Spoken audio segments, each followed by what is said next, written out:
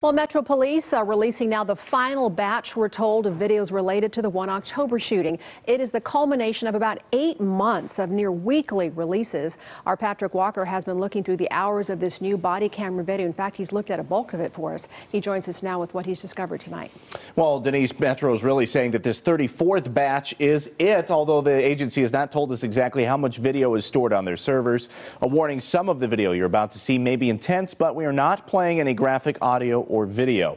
One of the officers' cameras documents people fleeing the Route 91 festival grounds. Officers direct survivors to head toward Hooters Hotel before moving on to search for victims around the festival grounds. In another video, a team of officers comes across a group of survivors who made their way into a Coco's restaurant. We have about 30 here still.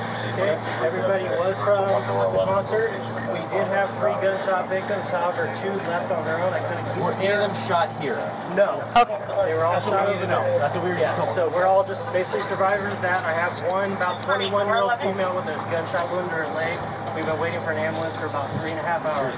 He said Stacy Short. Well, we see officers checking in with loved ones in these clips. In this one, an officer receives a text from someone saying they were right by the stage and saw people shot being around them. The officer replying, quote, you have no idea how I would have felt if something would have happened to you knowing I gave you the pass to get in. He pauses and then continues, quote, I was praying you were okay.